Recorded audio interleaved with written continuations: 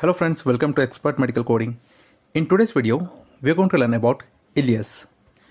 We are going to see what is ileus is, what are the symptoms of it, causes, complications, tests, treatment and precautions. So let's get started. What is ileus? Ileus also called as gastrointestinal atony is inability of your intestine to contract normally, leading to a buildup of stomach contents in part of the intestine. Typically, muscles in the intestines contract and relax to cause a wave-like motion called peristalsis. This movement helps food travel through your intestines. But when an ileus occurs, it stops peristalsis and prevents food particles, gas and liquids from passing through the intestines and lead to partial or complete intestinal obstruction. Now let us discuss about the symptoms of it. Symptoms may include abdominal bloating, abdominal distension, abdominal pain, gas, constipation, nausea and vomiting, feeling full in your stomach after small amounts of food or drink, dehydration. Now let us discuss about the causes. The first cause is a surgery. Surgery is the most common cause of paralytic ileus. An ileus most commonly occurs after abdominal or pelvic surgery. This may be because normal peristalsis is slow to return after surgery. Medications prescribed after surgery such as opioid pain relieving medications affect intestinal movement. Post-surgical scarring can cause a blockage. Next cause is the inflammation. inflammation of the abdominal cavity interrupts intestinal function such as appendicitis, pancreatitis, peritonitis, gastroenteritis, cholecystitis and diverticulitis. Next cause is the medications. Medications known to slow motility include anticholinergics, opioids, tricyclic antidepressants and phenothiazines. Next cause is the electrolyte disturbances.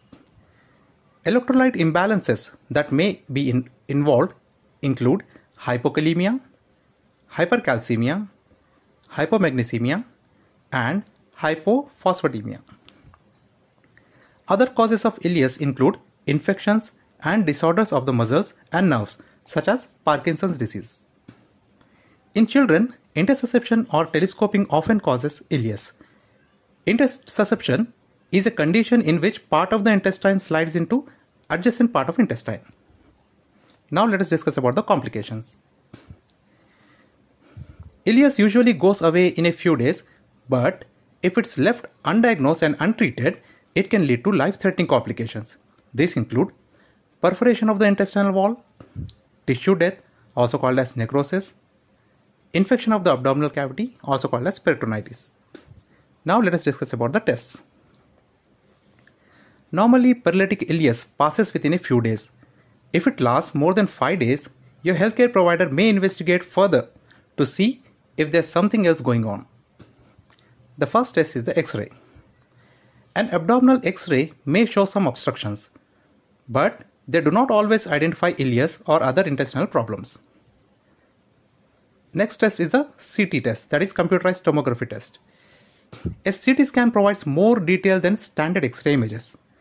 These scans are more likely to highlight an ileus because they show the intestines from different angles. Next test is the ultrasound test. Doctors often diagnose children with a suspected ileus using an ultrasound scan. Ultrasound scans typically show a coiled area in the intestine when intussusception is present. Next test is the blood test. They may take a blood test to check your electrolyte and mineral levels. Next test is air or barium enema. This allows for enhanced imaging of the colon.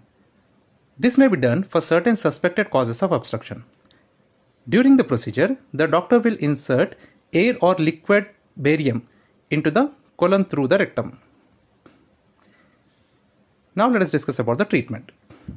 If ileus occurs as a natural side effect of your surgery, your treatment plan includes bowel rest. You'll avoid eating by mouth until your bowel function has returned. Parenteral nutrition. you may need to have your fluids, electrolytes, and nutrients replaced through an IV. Prokinetics Medications to promote peristalsis may help reboot your bowel function if it doesn't recover soon enough on its own.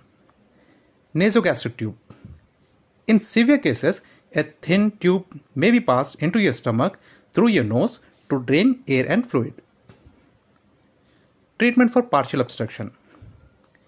If you have an obstruction in which some food and fluid can still get through, you may not need further treatment after you have been stabilized. Your doctor may recommend a special low fiber diet that is easier for your partially blocked intestine to process. If the obstruction does not clear on its own, you may need surgery to relieve the obstruction. Treatment for complete obstruction. If nothing is able to pass through your intestine, you'll usually need surgery to relieve the blockage. The procedure you have will depend on what's causing the obstruction and which part of your intestine is affected.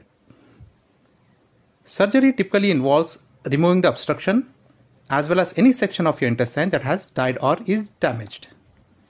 Now let us discuss about the precautions.